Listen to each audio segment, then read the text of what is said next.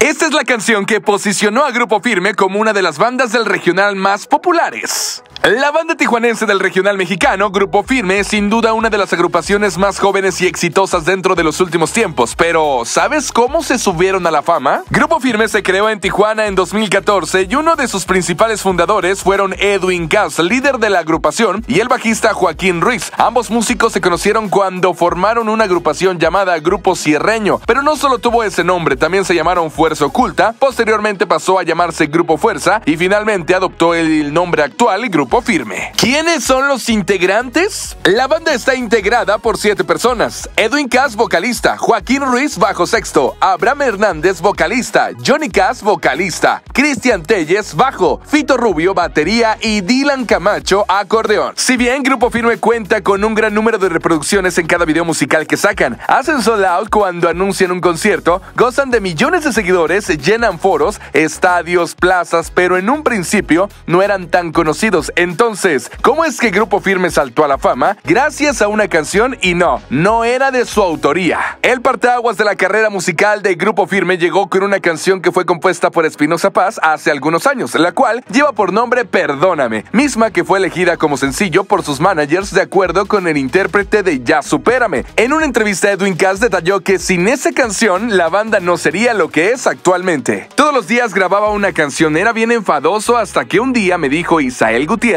esa es la buena. Perdóname de Espinosa Paz. Hicimos un disco de 12 temas que se llamaba Presente, Pasado y Futuro. Reveló el intérprete de En tu perra vida durante una entrevista que tuvo con el periodista Gustavo Adolfo Infante para el programa El Minuto que cambió mi destino. A partir de ahí lograron colocarse en estaciones de radio, eventos y la magia de Grupo Firme comenzó a invadir a los miles de fanáticos del regional mexicano. Y aunque en un principio Grupo Firme fue muy criticado por solo hacer covers de canciones ya conocidas, fue gracias a la poca fama que habían ganado por un cover que lograron lanzar su primer álbum musical titulado Pasado, Presente, Futuro en 2017. Ahora muchos son los artistas de talla mundial y nacional que los buscan para grabar con ellos, por lo que se han vuelto más selectivos a la hora de elegir con quién harán una colaboración. Estos son los duetos que Grupo Firme ha realizado a lo largo de su trayectoria musical. Calibre 50, A ti te conviene. Lenin Ramírez, En tu perra vida. Karim León, El Tóxico.